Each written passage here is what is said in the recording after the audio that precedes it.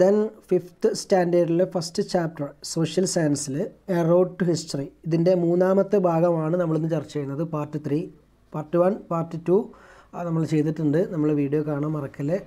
Link താഴെ description ബോക്സിൽ കൊടുക്കാം. അതോടൊപ്പം തന്നെ ഇന്ന് നമുക്ക് ലാസ്റ്റ് ഭാഗം മാത്രമാണ് ചർച്ച ചെയ്യാനായിട്ടുള്ളത്. നമ്മൾ ഈ ഭാഗങ്ങളൊക്കെ നമ്മൾ ഡിസ്കസ് ചെയ്ത് പോയതാണ്. വളരെ വിശദമായിട്ടാണ് നമ്മൾ ഓരോ രണ്ട് കഴിഞ്ഞ രണ്ട് വീഡിയോ നമ്മൾ ചർച്ച ചെയ്തിട്ടുണ്ട്. ഇനി നമുക്ക് ചർച്ച ചെയ്യാനുള്ളത് ക്രോണോളജിയുമായി ബന്ധപ്പെട്ടാണ് കാലഗണന കണക്കാക്കുന്ന വുമായി ബന്ധപ്പെട്ടാണ് നമുക്ക് ഇന്ന് ചർച്ച ചെയ്യാനുള്ളത്. അപ്പോൾ നമുക്ക് ടെക്സ്റ്റ് ബുക്ക് അങ്ങനെ വായിച്ചിട്ട് കാര്യങ്ങൾ തന്നെ മനസ്സിലാക്കാം. നമ്മളോട് രണ്ട് മൂന്ന് ചോദ്യങ്ങളാണ് ഇവിടെ ഈ ഒരു ഭാഗത്ത് നിന്ന് ചോദിക്കുന്നത്. ഒന്നാമത്തെ ചോദ്യം എന്ന് പറയുന്നത് അതായത് നമ്മൾ ചോദ്യങ്ങളിലൂടെ ഈ ഒരു സബ്ജക്റ്റിലേക്ക് അല്ലെങ്കിൽ ഈ ഒരു ഈ ഒരു ഹെഡിങ്ങിലേക്ക് നമ്മൾ ക്രോണോളജിയിലേക്ക് കിടക്കുകയാണ്. ഓക്കെ ഒന്നാമത്തെ ചോദ്യം ഇതാണ്. ഇവിടെ പറയുന്നത് എന്താണ്? How many years after independence was the state of Kerala formed അതായത് കേരളം രൂപം കൊണ്ടത് കേരള സംസ്ഥാനം രൂപം കൊണ്ടത് സ്വാതന്ത്ര്യം കിട്ടി എത്ര വർഷം കഴിഞ്ഞിട്ടാണ്. ഇവിടെ കൊടുത്തിട്ടുണ്ട് സ്വാതന്ത്ര്യം കിട്ടിയത് എന്നാണ് ഇവിടെ കൊടുത്തിട്ടുണ്ട്. ആയിരത്തി തൊള്ളായിരത്തി നാൽപ്പത്തി ഏഴ് നമുക്കറിയാം. അതുപോലെ തന്നെ പിന്നെ കേരള സ്റ്റേറ്റ് ഫോം ചെയ്തതെന്ന് നമുക്കറിയാം. ആയിരത്തി തൊള്ളായിരത്തി അൻപത്തി ആറിലാണ് the formation of state of Kerala ഇനി പിന്നെ അതുപോലെ തന്നെ മറ്റൊന്ന് salt satyagraha. Gandhiji led the salt satyagraha nineteen thirty ആയിരത്തി തൊള്ളായിരത്തി മുപ്പതിലാണ് ഗാന്ധിജിയുടെ സാൾട്ട് പിന്നെ ഉപ്പ് സത്യാഗ്രഹം നമുക്കറിയാം. അപ്പോൾ ഈ ഒരു പോയിന്റുകൾ വെച്ചിട്ട് ഈ ഡേറ്റുകൾ വെച്ചിട്ടാണ് നമുക്കൊരു ഉദാഹരണമാണ് എക്സാമ്പിളാണ് ഇവിടെ പറഞ്ഞിരുന്നത് കേട്ടോ. അതായത് ഒന്നാമത് ചോദ്യം നോക്കൂ. ഇവിടെ ചോദിച്ചില്ലേ എത്ര വർഷം കഴിഞ്ഞിട്ടാണ്? അല്ലെങ്കിൽ പിന്നെ കേരള സ്വാതന്ത്ര്യ ദിനം കിട്ടി സ്വാതന്ത്ര്യം കിട്ടിയിട്ട് ആയിരത്തി തൊള്ളായിരത്തി നാൽപ്പത്തി കഴിഞ്ഞ് നാൽപ്പത്തി ഏഴ് കഴിഞ്ഞിട്ട് എത്ര വർഷം കഴിഞ്ഞിട്ടാണ് നമുക്ക് കേരളം സംസ്ഥാനം രൂപീകൃതമായിട്ടുള്ളത്? ഒന്നാമത്തെ ചോദ്യം. പിന്നെ രണ്ടാമത്തെ ചോദ്യം നോക്കൂ.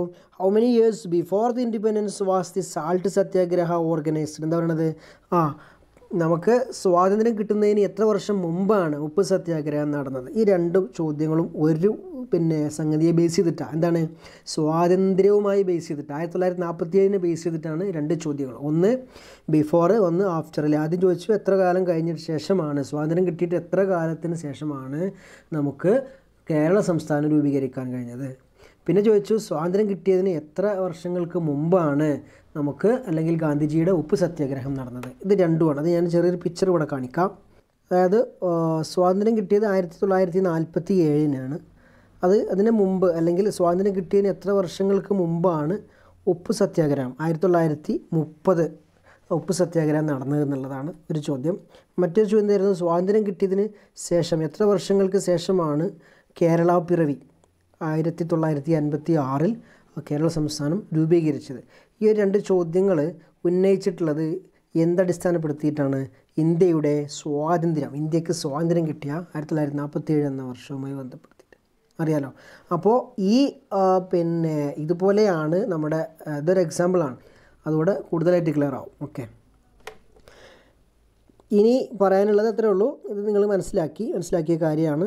അപ്പോൾ ഹിയർ ഇവിടെ chronology is measured based on year of independence Indian independence അല്ലേ ഇന്ത്യൻ സ്വാതന്ത്ര്യവുമായി ബന്ധപ്പെട്ടാണ് നമ്മൾ ഇവിടെ എന്ത് ചെയ്തിട്ടുള്ളത്? കാലഗണന കണക്കാക്കുന്നതിന് വേണ്ടിയിട്ട് സ്വാതന്ത്ര്യം കിട്ടിയ വർഷത്തെയാണ് നമ്മളിവിടെ അടിസ്ഥാനമാക്കിയത്. ഇനി സാധാരണ അതല്ല ക്രോണോളജി കാലഗണന കണക്കാക്കാൻ നമ്മൾ ഉപയോഗിക്കുന്ന എന്താണ്? Today the Christian era is the common scale of chronology all over the world ഇന്ന് ലോകത്ത് പൊതുവായി കാലഗണനയ്ക്ക് ഉപയോഗിക്കുന്നത് ക്രിസ്തു വർഷമാണ്. മനസ്സിലായല്ലോ? ദ പീരിയഡ് നോക്കാം the period in history is divided into A D and B C എന്താണ്? Based on the birth of Jesus Christ എന്താ പറയുന്നത്? ഇന്ന് ലോകത്ത് പൊതുവായി കാലഘടന കണക്കാക്കി ഉപയോഗിക്കുന്നത് ക്രിസ്തു വർഷമാണെന്ന് പറഞ്ഞു. പിന്നീട് വായിച്ചാണ് the period of period in history is divided into A D and B C based on the birth of Jesus Christ. എന്താ പറഞ്ഞത്? യേശു ക്രിസ്തുവിന്റെ ജനനത്തെ അടിസ്ഥാനമാക്കി കാലത്തെ എ ഡി എന്നും ബി സി എന്നും ഇങ്ങനെ വിഭജിച്ചിട്ടുണ്ട്. Divided into A D and B C based on the birth of Jesus Christ. മനസ്സിലായല്ലോ? അതായത് the time before and after the birth of Jesus Christ is known as B C before Christ and A D anno domini respectively അതായത് യേശു ക്രിസ്തു ജനിക്കുന്നതിന് മുമ്പുള്ളത് B സിയും ജനിച്ചതിന് ശേഷം A ഡിയും ആദ്യം പറഞ്ഞത് എ ഡി ആണ് പിന്നെ പറഞ്ഞത് ബി സി ആണ്. ആദ്യം പറഞ്ഞത് എ ഡി ജനിച്ചതിന് ശേഷമുള്ള കാലം ജനിച്ചതിന് ശേഷമുള്ള കാലമാണ് എ ഡി എന്നറിയപ്പെടുന്നത്. ജനിച്ച് ജനിക്കുന്നതിന് മുമ്പുള്ളത് ബി സി എന്നുമാണ് നമ്മൾ അറിയപ്പെടുന്നത് അത് നിങ്ങൾ കാണുന്നുണ്ടല്ലോ അല്ലേ? ബി സി ഇവിടെ എ ഡി.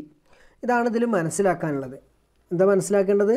ജനിക്കുന്നത് ഫസ്റ്റ് ജനിച്ചതിന് ശേഷമുള്ളത് എ ഡി എന്നും ജനിക്കുന്നതിന് മുമ്പ് ബി സി എന്നും. അപ്പോൾ ജനി ജനിച്ചതിന് ശേഷമുള്ളതിന് എ ഡി എന്നാണ് പറഞ്ഞത്. അപ്പോൾ ഇപ്പോൾ അതിന് എന്ത് ചെയ്യുന്നുണ്ട് എ ഡി ബി സി എന്നുള്ളതിനെ ഇപ്പോൾ സൂചിപ്പിക്കുന്നത് എങ്ങനെയാണ്? അതോടൊപ്പം സൂചിപ്പിക്കുന്നത് എങ്ങനെയാണ്? Now they are also known as C common era and B C E before common era ഇങ്ങനെയാണ് ഇപ്പോൾ അതിനെ സൂചിപ്പിക്കുന്നത്. അതായത് A D A C E എന്നും B A B C E എന്നും ഇപ്പോൾ സൂചിപ്പിക്കുന്നുണ്ട് എന്നുകൂടെ നിങ്ങൾ മനസ്സിലാക്കി വെക്കുക എ ഡി എ ഇപ്പോൾ സി ഇ എന്നും B C A B C E എന്നും സൂചിപ്പിക്കുന്നു എന്നുള്ളത് കൂട്ടത്തിൽ മനസ്സിലാക്കി വെക്കുക ഇതുള്ളൂ ഇവിടെ. വേറെ കൺഫ്യൂഷൻ ഒരു ചാൻസും ഇല്ല. എ ഡി ബി സി എന്താണെന്ന് മനസ്സിലാക്കുക. എ ഡി എന്ന് പറഞ്ഞാൽ ജനിച്ചതിന് ശേഷം ജനിക്കുന്നതിന് മുമ്പ് ബി സി അത് മറക്കാതിരിക്കാൻ വേണ്ടിയിട്ട് ആ ബിയിൽ പിടിച്ചാൽ മതി. ജനിക്കുന്നതിന് മുമ്പ് ബിഫോർ ബ് ബി സി എന്ന് കിട്ടും. ഓക്കെ അപ്പോൾ പിന്നെ എന്തായാലും ജനിച്ചതിന് ശേഷം എ ഡി ആണെന്ന് പറയാം. A D B C A D B C ഇനി ഇതിൽ സെഞ്ചുറിയും കൂടെ നേരത്തെ പറയാം. ഈ ടൈമിൽ തന്നെ സെഞ്ചുറി പറഞ്ഞാൽ നിങ്ങൾക്ക് പെട്ടെന്ന് മനസ്സിലാവും.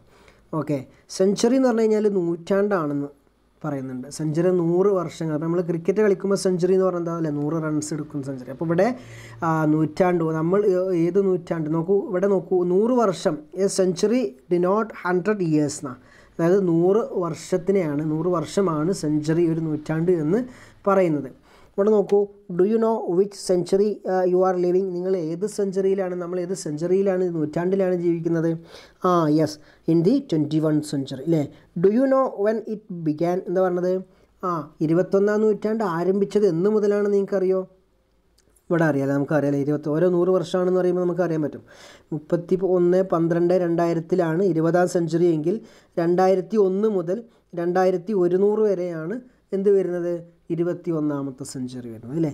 ആ രീതിയിൽ നമുക്ക് കാര്യങ്ങൾ അറിയാൻ പറ്റും. ഇവിടെ ഒരു എക്സാമ്പിൾ കൊടുത്തിട്ടുണ്ട്. For example A D one to A D hundred is the first century A D ഒന്ന് മുതൽ അതാണ് ഇവിടെ കണ്ടോ എ ഡി ഒന്ന് മുതൽ എ ഡി ഹൺഡ്രഡ് വരെ first century hundred to two hundred വരെ second century two hundred to three hundred വരെ third century three hundred to four hundred വരെ ഫോർത്ത് സെഞ്ചുറി ഈ രീതിയിലാണ് സെഞ്ചുറി കണക്കാക്കി പോകുന്നത്. ഇങ്ങോട്ടും അതേപോലെ തന്നെ. ഇവിടെ നൂറുകൾ കൂടി കൂടി വരുന്നു.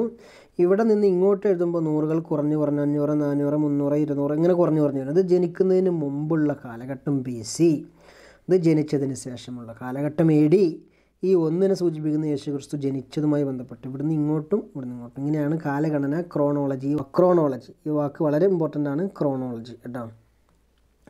അപ്പോൾ സെഞ്ചുറിയിലേക്കാണ് നമ്മൾ സെഞ്ചുറി പറഞ്ഞുകൊണ്ടിരിക്കുക. അപ്പോൾ ഇത്രയും ഈ ഒരു കാര്യം കൂടെ നമ്മളിവിടെ ഫില്ല് ചെയ്യുമ്പോൾ നമുക്കൊന്നും കൂടെ ക്ലിയർ ആയിട്ട് വളരെ വ്യക്തമായിട്ട് തന്നെ മനസ്സിലാക്കാനായിട്ട് സാധിക്കും. ഓക്കെ ഇവിടെ കാലഗണന കണക്കാക്കുന്നതിന് നമുക്കറിയാം ഒരു എളുപ്പവഴിയുണ്ട് അല്ലേ? അതായത് എ ഡി രണ്ടായിരത്തി പതിനാല് എന്ന് പറയുന്നത് ഏത് സെഞ്ചുറിയിലാണ് നമ്മളിവിടെ എഴുതി വെക്കണം. അതിന് നമുക്കുള്ളൊരു എളുപ്പവഴി എന്താണെന്ന് വെച്ച് കഴിഞ്ഞാൽ രണ്ടായിരത്തി പതിനാലിലെ ആ പതിനാലിനെ ഇങ്ങോട്ട് മറച്ച് വെച്ചാൽ ഇരുപതിനെ കാണും. ഇരുപതിന്റെ കൂടെ ഒന്ന് കൂട്ടിയാൽ ഇരുപത്തി ഒന്ന് കിട്ടും. അപ്പോൾ ഇവിടെ ഏത് ഏത് സെഞ്ചുറിയിലാണ് ഇരുപത്തി ഒന്നാം സെഞ്ചുറി ഇനി ഇതിന്റെ നേരെ ഇപ്പുറത്ത് നിങ്ങൾ എന്ത് എഴുതി വെക്കണം എന്നറിയോ രണ്ടായിരത്തി ഈ സെഞ്ചുറിയുടെ കാല ഇത് എത്ര ഏത് ഏത് ഇതിലാണ് നിങ്ങൾ നിങ്ങൾ സൂചിപ്പിച്ച് വെക്കണം. അതായത് നമുക്ക് അറിയുന്നതിന് വേണ്ടിയിട്ട്. രണ്ടായിരത്തി ഒന്ന് ടു രണ്ടായിരത്തി ഒരുന്നൂറ് അതിന്റെ ഇടയിലാണ് രണ്ടായിരത്തി പതിനാല് വരുന്നത് നമുക്കറിയാലോ അല്ലേ? രണ്ടായിരത്തി ഒരുന്നൂറ് ടു രണ്ടായിരത്തി ഒന്ന് ടു രണ്ട് ഒരുന്നൂറ് എന്ന് ഇവിടെ എഴുതിയേക്കണം കേട്ടോ. അതാണ് ഇരുപത്തൊന്നാം സെഞ്ചുറി. ഇനി ആയിരത്തി തൊള്ളായിരത്തി നാൽപ്പത്തേഴ് എന്നുള്ളത് രണ്ടക്കം അങ്ങനെ മറച്ചു വെക്കുന്നു. പത്തൊമ്പതിന്റെ കൂടെ ഒന്ന് കൂട്ടി ഇരുപതാം സെഞ്ചുറി നമുക്കറിയാം. അത് അല്ല ഇതല്ലെങ്കിലും നമുക്കറിയാം ഇത് ഏത് ഇയറിലാണ് വരുന്നത് ഏത് നൂറ് വർഷങ്ങൾക്കിടയിലാണ് ഈ സംഖ്യ വരുന്നത്? ആയിരത്തി തൊള്ളായിരത്തി നാൽപ്പത്തേഴ് വരുന്നത്? യെസ്. ആയിരത്തി തൊള്ളായിരത്തി ഒന്ന് മുതൽ ആ രണ്ടായിരം വരെ. അതിന്റെ ഇടയിലാണ് ആയിരത്തി തൊള്ളായിരത്തി നാൽപ്പത്തേഴ് ഇവിടെ നോട്ട് ചെയ്യണം കേട്ടോ. ജസ്റ്റ് ആയിരത്തി എണ്ണൂറ്റി അൻപത്തി ഏഴ് എ ഡി ആയിരത്തി എണ്ണൂറ്റി അമ്പത്തി ഏഴിൽ നമുക്കറിയാം. അൻപത്തേഴ് മറച്ചു പിടിച്ചു പതിനെട്ടിന്റെ കൂടെ ഒന്ന് കൂട്ടി പത്തൊമ്പതാം നൂറ്റാണ്ടിലാണ് നയന്റീൻത്ത് സെഞ്ചുറിയാണ് നമുക്കറിയാം അല്ലേ? അപ്പോൾ ഈ നയന്റീൻത്ത് സെഞ്ചുറി എന്ന് പറയുന്നത് ഏത് ഇയർ ഏത് ഇയറിന്റെ ഇടയിലാണ് ഇത് നയന്റീൻത്ത് സെഞ്ചുറി വരുന്നത്? ആ അല്ലെങ്കിൽ ഈ സംഖ്യ ആയിരത്തി എണ്ണൂറ്റി അമ്പത്തി ഏഴ് ഏത് ഇതിന്റെ ഇടയിലാണ് വരുന്നത്? ആയിരത്തി എണ്ണൂറ്റി ഒന്ന് മുതൽ ആയിരത്തി തൊള്ളായിരം വരെ അതിവിടെ എഴുതി വെക്കണേ മറക്കരുത്. ഇനി ഇരുന്നൂറ്റി അറുപത്തൊന്ന് ബി സി എന്ന് പറഞ്ഞത് ഇരുന്നൂറ്റി അറുപത്തൊന്ന് ബി സി എന്ന് പറഞ്ഞാൽ അറുപത്തൊന്നിനെ നിങ്ങൾ മറച്ച് വെച്ചിട്ട് രണ്ടിന്റെ കൂടെ ഒന്ന് കൂട്ടിയ മൂന്ന് തേർഡ് തേർഡ് തേർഡ് സെഞ്ചുറി അല്ലേ അപ്പോൾ തേർഡ് സെഞ്ചുറി ബി സി നട ഡിനോട്ട് ചെയ്യണം കേട്ടോ ഓക്കെ. ഇനി ഇവിടെ എഴുതി വെക്കണം. ഇരുന്നൂറ്ററുപത്തൊന്ന് ഏത് സെഞ്ചുറിയിൽ അതായത് ഏത് ഇതിന്റെ ഇടയിലാണ് വരുന്നത്? ഇരുന്നൂറിന്റെയും ഇരുന്നൂറ്റൊന്ന് മുതൽ മുന്നൂറ് വരെയാണ് ഇതിന്റെ ഇടയിലാണ്. ഇരുന്നൂറ്ററുപത്തൊന്ന്. ഓക്കെ. ഇനി three hundred twenty six B C. ഇരുപത്താറിന് നമ്മൾ മറച്ചു വെക്കുന്നു. മൂന്നിന്റെ കൂടെ ഒന്ന് കൂട്ടിയപ്പോൾ നാല് ഫോർത്ത് സെഞ്ചുറി. അവിടെ നമ്മൾ എഴുതി വെക്കണം. മുന്നൂറ്റി ഒന്ന് നാനൂറിന്റെ ഇടയിലാണ്. അപ്പോൾ ഇത് സെഞ്ചുറി കണ്ടെത്താൻ വളരെ എളുപ്പമാണ്. സിമ്പിളാണ്. പക്ഷേ ഇവിടെ ഒരു ഈ ഒരു പാരഗ്രാഫ് ഇതിൽ ഇമ്പോർട്ടന്റ് ആയ പാരഗ്രാഫാണ്. നോക്കൂ. In history the question when is very important the chronological sense help us to find out the answer to this question എന്താ പറയണത്? ഈ ഒരു ഭാഗത്ത് പറയുന്ന ഇത്രയേ ഉള്ളൂ. ചരിത്ര പഠനത്തിൽ എന്ന് എപ്പോൾ വെൻ എന്നുള്ള ചോദ്യം വളരെ ഇമ്പോർട്ടന്റ് ആയിട്ടുള്ള ചോദ്യമാണ്. കാലഗണന ചരിത്രം അല്ലെങ്കിൽ ഇത് ഇത് എന്ന് എന്ന് ഏത് കാലത്ത് ഇത് എപ്പോഴുള്ളതാണ് ഇത് വളരെ ഇമ്പോർട്ടന്റ് ആയിട്ടുള്ള ഒരു ചോദ്യമാണ്. അതുകൊണ്ട് നമുക്ക് പറയുന്നത്രേ ഉള്ളൂ. The chronological sense helps us to find out the answer to this question എന്താ പറയണത്? അപ്പോൾ ഈ ഒരു ചോദ്യത്തിന് ഇതിന് ഉത്തരം കണ്ടെത്താൻ ഈ ക്രോണോളജി കാലഗണന നമ്മെ സഹായിക്കുന്നു. ഇതാണ് ക്രോണോളജി നമ്മളിവിടെ കണക്കാക്കി. കണ യേശു ക്രിസ്തുവിന്റെ ജനനവുമായി ബന്ധപ്പെട്ട് ജനിച്ചതിന് ശേഷം ജനിക്കുന്നതിന് മുമ്പും ഇത്രയേ ഉള്ളൂ. എ ഡി ബി സി കൂടുതലായിട്ട് തല പുകയേണ്ട ആവശ്യമില്ല. ജസ്റ്റ് കാര്യം മനസ്സിലാക്കി വെക്കുക ഓക്കെ ഇനി എന്താണ് അന്നോ ഡൊമിനി എന്നിവിടെ ജസ്റ്റ് സൂചിപ്പിക്കുന്നുണ്ട് എന്ന് പറഞ്ഞു കഴിഞ്ഞാൽ ലാറ്റിൻ വേർഡാണ് മാത്രമല്ല in the year in the year of our lord it signifies the year of birth of Jesus Christ അതായത് ലാറ്റിൻ ഭാഷയിലുള്ളൊരു പദമാണിത്. അത് നമ്മുടെ യേശു ക്രിസ്തുവിന്റെ ജനന വർഷത്തിൽ എന്നാണ് ഇതിനെ സൂചിപ്പിക്കുന്നത്. ജനന വർഷം എന്നാണ് സൂചിപ്പിക്കുന്നത്. ഇനി നമുക്ക് ഈ പാഠഭാഗത്ത് ആകെ പറയാനുള്ളത് കലണ്ടറുമായി ബന്ധപ്പെട്ട് ചെറിയൊരു കാര്യം മാത്രമാണ്. Have a glance at the calendar എന്താണ്? കലണ്ടറിൽ എന്തൊക്കെയുണ്ട് വിശേഷങ്ങൾ? കലണ്ടർ നോക്കാം. കലണ്ടറിൽ എന്തെല്ലാം വർഷങ്ങളാണ് രേഖപ്പെടുത്തിയിട്ടുള്ളത്? What are the different eras mentioned era എന്ന് വർഷം എന്നാണ് കേട്ടോ നമ്മളിപ്പോൾ ഒരുപാട് ഇറാസ് പറഞ്ഞു. ക്രിസ്ത്യൻ ഇറ അല്ലേ ആ രീതിയിൽ കോമൺ ഇറ എന്നൊക്കെ നമ്മൾ ഇറ എന്ന് പറഞ്ഞ വർഷം എന്നുള്ള രീതിയിലാണ് different eras mention in the calendar കലണ്ടറിൽ മെൻഷൻ ചെയ്തിട്ടുള്ളത് ഏതൊക്കെ വർഷങ്ങളാണ് നമുക്കറിയാം. നമ്മൾ നാലാം ക്ലാസ്സിൽ നിന്ന് പഠിച്ചതാണ് അല്ലേ? നാലാം ക്ലാസ്സിൽ ഈ ഒരു ടോപ്പിക് ഉണ്ടായിരുന്നു.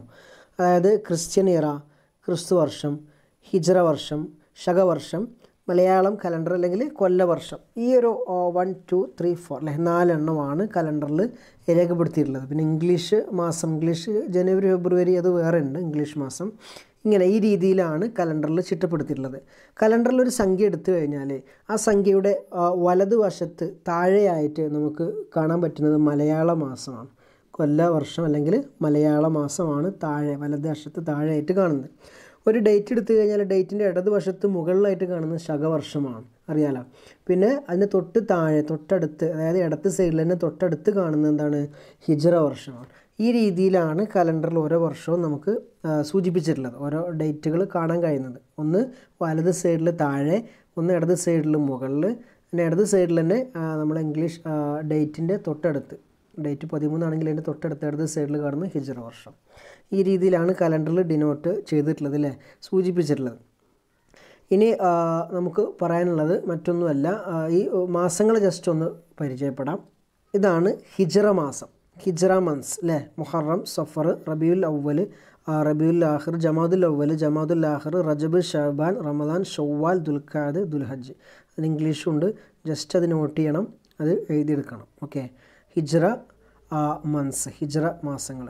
അതുപോലെ തന്നെ ശകവർഷങ്ങൾ. നമ്മൾ നാലാം ക്ലാസ്സിൽ പഠിച്ചു തന്നെയാണ് അല്ലേ ചൈത്രം വൈശാഖം ജ്യേഷ്ഠം ആഷാഢം ശ്രാവണം ഭാദ്രപാദം അശ്വിനി കാർത്തിക അഗ്രഹായനം പൗഷം മാഘം ഫൽഗുണം. ഫൽഗുണം കേട്ടോ ഇത് എഴുതിയെടുക്കുക. അതോടൊപ്പം തന്നെ പിന്നെ ഇനി നമുക്കറിയാം മലയാള മാസങ്ങൾ നമുക്കറിയാം അല്ലേ? ചിങ്ങം കന്നി തുലാം വൃശ്ചികം എന്ന് പറഞ്ഞിട്ടുള്ള മലയാള മാസങ്ങൾ നമുക്കറിയാവുന്നേ ഉള്ളൂ. ഇത് മൂന്ന് നാല് ചോദ്യങ്ങളാണ് കേട്ടോ വാട്ട് ഈസ് ഹിസ്റ്ററി എന്നാണ് ഈ ചോദ്യം വരുന്നത്. ഇതിന് ആൻസറാണ് അവിടെ കൊടുത്തിട്ടുള്ളത്. നമ്മൾ പഠിച്ചിട്ടുള്ള ഈ പാഠത്തിൽ നിന്ന് സംഗ്രഹങ്ങളാണ്. ഒന്ന് history is the record of the progress human being acquired through the ages നമ്മൾ പഠിച്ചതാണ് ചരിത്രം എന്നാൽ എന്തെന്നാണ് ചോദ്യം. അതിന് ആൻസറാണ് ഇവിടെ കൊടുത്തിട്ടുള്ളത്. എന്താണ് ചരിത്രം മനുഷ്യർ? കാലങ്ങളായി ആർജിച്ച പുരോഗതിയുടെ രേഖപ്പെടുത്തലാണ് ചരിത്രം.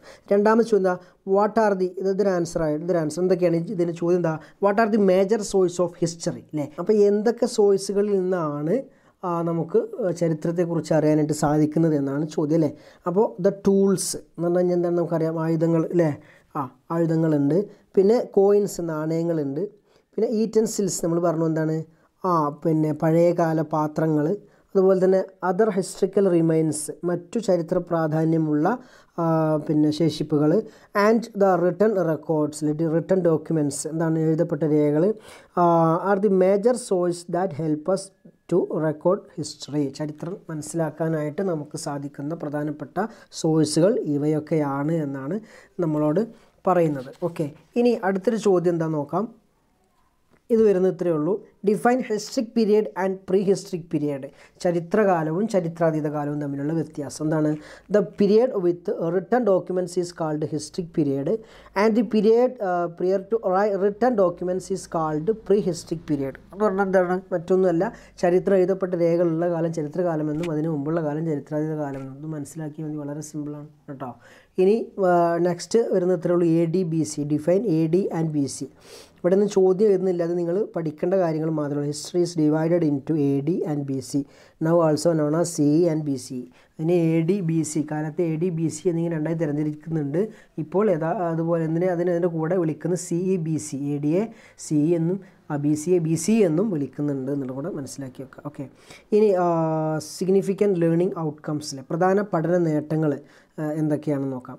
Explain that history is record on the basis of evidences അതായത് ഈ പാഠഭാഗം പഠിച്ചതുകൊണ്ട് നമുക്ക് കിട്ടിയ പഠന നേട്ടം എന്താണ്? ചരിത്രം തെളിവുകളുടെ അടിസ്ഥാനത്തിലാണ് രേഖപ്പെടുത്തുന്നത് എന്ന് വിശദീകരിക്കാൻ നമുക്ക് സാധിക്കും. അല്ലേ? ചരിത്രം തെളിവുകളുടെ അടിസ്ഥാനത്തിലാണ് രചിക്കപ്പെടുന്നത്. അതിൽ തെളിവുകൾ കണ്ടെത്തിയിട്ട് തെളിവുകളുടെ അടിസ്ഥാനത്തിലാണ് കാര്യങ്ങൾ രചിക്കപ്പെടുന്നത് എന്ന് നമുക്ക് മനസ്സിലാക്കാനായിട്ട് സാധിക്കും. ഓക്കെ ദ നെക്സ്റ്റ് വരുന്നത് എന്താണ്?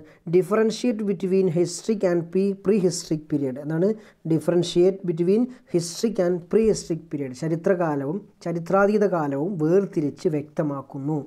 നമുക്കവിടെ മനസ്സിലാവുന്ന കാര്യമാണ്. ചരിത്രകാലം മനസ്സിലാക്കി ചരിത്രാതീത കാലം മനസ്സിലാക്കി. ഇത് മൂന്നാമത്തെ പോയിന്റ് എന്താണ്? Analysis the concept of A D comma B C and century A D എന്താണെന്നും ബി സി എന്താണെന്നും നൂറ്റാണ്ട് എന്താണെന്നും നമ്മൾ മനസ്സിലാക്കി മനസ്സിലാക്കിയല്ലോ. ഇനി നെക്സ്റ്റ് പോയിന്റ് എന്താണ്? Describe the need of conserving historic monuments ചരിത്രശേഷിപ്പുകളുടെ സംരക്ഷണത്തിന്റെ ആവശ്യകത എന്താണ്? ഓക്കെ മനസ്സിലാകുന്നുണ്ടല്ലോ. ചരിത്രശേഷിപ്പുകളുടെ ആവശ്യകത. ഞാൻ ഇതിങ്ങനെ കേഴ്സർ വലിക്കുമ്പോൾ ഇത് വായിക്കുന്നതിന് പ്രയാസമുണ്ട്. അതുകൊണ്ട് ഞാനതിങ്ങനെ അളക്കാതെ വെക്കുന്നത്. ഓക്കെ അപ്പോൾ ചരിത്രശേഷിപ്പുകളുടെ സംരക്ഷണത്തിന്റെ ആവശ്യകത വ്യക്തമാക്കാൻ നമുക്ക് സാധിക്കുന്നു അല്ലേ? പിന്നെന്താ പറഞ്ഞത്? Yes acquaints methodology of writing local history എന്ന് പറഞ്ഞാൽ പ്രാദേശിക ചരിത്ര രചനയ്ക്കുള്ളൊരു ശേഷി നമ്മൾ നേടിക്കഴിഞ്ഞു. അല്ലേ പ്രാദേശികമായിട്ടുള്ളൊരു ചരിത്രം എഴുതാൻ നമുക്കറിയാം. ആരോടൊക്കെ ചോദിക്കണേ എന്തൊക്കെ അറിയാം എന്നൊക്കെ നമ്മൾ ഫസ്റ്റ് വീഡിയോയിൽ പറഞ്ഞു അല്ലേ ഓക്കെ അപ്പോൾ അതും നമുക്ക് വ്യക്തമായി മനസ്സിലായി കഴിഞ്ഞു. ഇനി പറയുന്നത് എന്താ നോക്കൂ? ലെറ്റസ് അസസ്സിലെ നമുക്ക് വിലയിരുത്താം. നമ്മൾ പഠിച്ച കാര്യങ്ങൾ ജസ്റ്റ് ഒന്ന് വിലയിരുത്താം. List out the various evidence that are helpful in recording history എന്ന് പറഞ്ഞു കഴിഞ്ഞാൽ ചരിത്ര രചനയ്ക്ക് സഹായിക്കുന്ന വിവിധ തെളിവുകൾ പട്ടികപ്പെടുത്താൻ വേണ്ടി പറഞ്ഞിരിക്കുക. Classify the following in to historic and pre historic source ഇവിടെ കുറച്ച് എന്ത് കൊടുത്തിട്ടുണ്ട്? ആ ഹിസ്റ്ററിക്കും ആയി പ്രീ ഹിസ്റ്ററിക്കും ചരിത്രകാലത്തെയും ചരിത്രാതീത കാലത്തെയും കുറച്ച് സോഴ്സ് ഇവിടെ കൊടുത്തിട്ടുണ്ട്. കോയിൻസ് നാണയങ്ങളുണ്ട് ബുക്സ് ബുക്ക് ഉണ്ട് കേവ് പെയിന്റിംഗ് എന്ന് പറഞ്ഞ ഗുഹാചിത്രങ്ങളാണ് സ്റ്റാമ്പ് നമുക്കറിയാം സ്റ്റാമ്പുകളാണ് സ്റ്റോൺ വെപ്പൻസ് ശിലായുധങ്ങളാണ് ആൻഷ്യൻ എർത്ത് വെയർ എന്ന് പറഞ്ഞാൽ പുരാതനമായിട്ടുള്ള ആൻഷ്യൻ എന്ന് പറഞ്ഞാൽ പഴയകാല പുരാതനമായ എർത്ത് വെയർ എന്ന് പറഞ്ഞാൽ മൺപാത്രങ്ങളാണ് പാം ലീവ്സ് എന്ന് പറഞ്ഞു കഴിഞ്ഞാൽ നമുക്കറിയാം താളിയ വലകളാണ്. എന്നിട്ട് നമ്മൾ രണ്ട് കാറ്റഗറീസ് തരംതിരിക്കാൻ വേണ്ടി പറഞ്ഞിരിക്കുക ഒന്ന് ഹിസ്റ്ററിക് പീരീഡും ആൻഡ് പ്രീ ഹിസ്റ്ററിക് പീരീഡ് അപ്പോൾ ആദ്യം ഹിസ്റ്ററിക് പീരീഡ് എന്ന് എഴുതുക പിന്നീട് പ്രീ ഹിസ്റ്ററിക് പീരീഡ് എന്ന് അപ്പോൾ ഹിസ്റ്ററിക് പീരീഡ് എന്ന് എഴുതിയതിന്റെ താഴെ എന്തൊക്കെ വരും? കോയിൻസ് വരും. ഞങ്ങൾ പറയാം. ഹിസ്റ്ററിക് പീരീഡിന്റെ താഴെ കോയിൻസ് വരും. അല്ലേ എന്താണ് ചരിത്രം? എഴുതപ്പെട്ട രേഖകളുള്ള അവിടുന്ന് ഇങ്ങോട്ടുള്ള കാലമാണ് ഹിസ്റ്ററിക് പീരീഡ് അപ്പോൾ ആ കാലഘട്ടത്തിൽ എന്തൊക്കെ വരും? കോ കോയിൻസ് വരും. നാണയങ്ങൾ വരുന്നുണ്ട്. ബുക്സ് വരുന്നുണ്ട്. സ്റ്റാമ്പുകൾ വരുന്നുണ്ട്. പിന്നെ പാം ലീവ്സ് താളിയോലകൾ വരുന്നുണ്ട്. ഇനി പ്രീ ഹിസ്റ്ററിക് പീരീഡ് ചരിത്രാതീത കാലത്തിൽ എന്തൊക്കെ വരുന്നുണ്ട്? യെസ് കേവ് പെയിന്റിങ് വരുന്നുണ്ട് ഗുഹാചിത്രങ്ങൾ വരുന്നുണ്ട്. പിന്നെ അത് വരുന്നുണ്ട്? യെസ് ആൻഷ്യന്റ് എർത്ത് വെയർ അല്ലേ? മൺപാത്രങ്ങൾ പുരാതനമായിട്ടുള്ള മൺപാത്രങ്ങൾ വരുന്നുണ്ട്. പിന്നെ എന്ത് വരുന്നുണ്ട്? യെസ് സ്റ്റോൺ വെപ്പൺ ശിലായുധങ്ങൾ ഈ മൂന്നെണ്ണമാണ് പ്രീ ഹിസ്റ്ററിക് പീരിയഡിൽ വരുന്നത്. ബാക്കിയുള്ളതൊക്കെ ഹിസ്റ്ററിക് പീരിയഡിൽ. ഇപ്പോൾ പ്രീ ഹിസ്റ്ററിക് പീരിയഡിൽ എന്തൊക്കെയാണെന്ന് കൂടെ പറയാം. ഒന്ന് കേവ് പെയിന്റിങ് ഗുഹാചിത്രങ്ങൾ പിന്നെ സ്റ്റോൺ വെപ്പൺസ് ശിലായുധങ്ങൾ കല്ലുകൊണ്ടുള്ള ആയുധങ്ങൾ ആൻഷ്യന്റ് എർത്ത് വെയർ ആ പുരാതനമായിട്ടുള്ള മൺപാത്രങ്ങൾ. ഇത് മൂന്നുമാണ് പ്രീ ഹിസ്റ്ററിക്കിൽ വരുന്നത്. മറ്റേതൊക്കെ ഹിസ്റ്ററിക് പീരിയഡിലാണ് ഇനി നിങ്ങൾക്ക് ചെയ്യാനുള്ള പഠന പ്രവർത്തനങ്ങളാണ് തുടർ പ്രവർത്തനങ്ങളാണ്. എന്തൊക്കെ ജസ്റ്റ് ഒന്ന് വായിക്കാം നമുക്ക് അവസാനിപ്പിക്കാം. Okay visit any historical remains forts ancient buildings ponds statues ഇതൊക്കെ എന്ത് ചെയ്യണം? നമ്മൾ ജസ്റ്റ് നിങ്ങളുടെ പ്രദേശത്തിൽ ഏതെങ്കിലും ചരിത്ര ശേഷിപ്പുകൾ ഇത്തരത്തിലുള്ള ചരിത്രശേഷിപ്പുകൾ ചരിത്ര ശേഷിപ്പുകൾ കോട്ടകളോ കെട്ടിടങ്ങളോ കുളങ്ങളോ അതുപോലെ തന്നെ പ്രതിമകളൊക്കെ സ്റ്റാച്യു ഒക്കെ ചെന്ന് സന്ദർശിച്ച് അവയുടെ സംരക്ഷണത്തിന് വേണ്ടി നടത്തുന്ന പ്രവർത്തനങ്ങൾ എന്തെല്ലാമാണ് എന്ന് അന്വേഷിച്ച് കുറിപ്പ് തയ്യാറാക്കാൻ വേണ്ടി പറഞ്ഞിരിക്കുക നിങ്ങളുടെ your locality draft report on the measures taken for their preservation അതായത് ഇതിനു വേണ്ടിയിട്ട് എന്തൊക്കെ സംരക്ഷണങ്ങൾ നടത്തുന്നുണ്ട്? പ്രവർത്തനങ്ങൾ എന്തൊക്കെയാണ് എന്ന് ജസ്റ്റ് അന്വേഷിച്ചിട്ട് കുറിപ്പ് തയ്യാറാക്കാൻ വേണ്ടി പറഞ്ഞിരിക്കുകയാണ്. ദെൻ നെക്സ്റ്റ് ഇത് നിങ്ങൾ അധ്യാപകർ പറയുമ്പോൾ ആ സമയത്ത് ചെയ്താൽ മതി. Okay examine the coins belong to different ages and list out the information that can be found out from them പല കാലഘട്ടങ്ങളിലുള്ള നാണയങ്ങൾ പരിശോധിക്കാനാണ് കോയിൻസ് നാണയങ്ങൾ ഡിഫറെന്റ് ഏജസിൽ പല കാലങ്ങളിലുള്ള നാണയങ്ങൾ പരിശോധിക്കുക അതിൽ നിന്ന് കണ്ടെത്താവുന്ന വിവരങ്ങൾ പട്ടികപ്പെടുത്തുക. ഓക്കെ ക്രമീകരിക്കുക ദ നെക്സ്റ്റ് മൂന്നാമത്തെ പ്രിപ്പയർ പോസ്റ്റർ തയ്യാറാക്കാൻ പറഞ്ഞിരിക്കുകയാണ്. എന്തിനു വേണ്ടിയിട്ടാണ് ആ പ്രൊട്ടക്ഷൻ ഓഫ് ഹിസ്റ്ററിക്കൽ മോണുമെന്റ്സ് നിങ്ങളുടെ ചരിത്ര സ്മാരകങ്ങൾ സംരക്ഷിക്കുന്നതിന് ആവശ്യമാണ് പോസ്റ്റർ തയ്യാറാക്കുക. എന്താ നാലാമത്തെ പോയിന്റ് എന്താ പറയണത്? കളക്ട് ചെയ്യാൻ വേണ്ടി പറഞ്ഞിരിക്കുകയാണ്.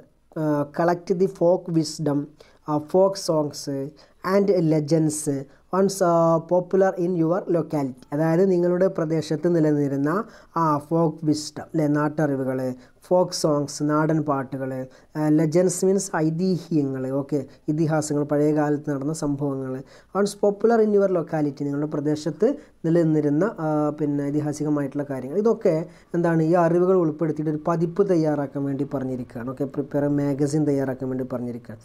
ലാസ്റ്റ് എന്താ പറഞ്ഞത്?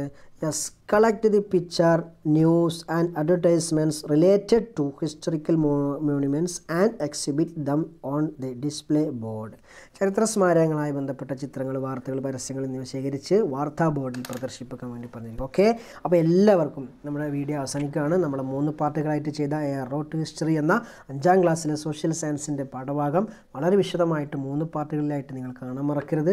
ചാനൽ സബ്സ്ക്രൈബ് ചെയ്യാത്തവരുണ്ടെങ്കിൽ സബ്സ്ക്രൈബ് ചെയ്യാനും മറക്കരുത്. ഓക്കെ അടുത്ത പുതിയ പാഠവുമായി വീണ്ടും കാണാം. Bye bye.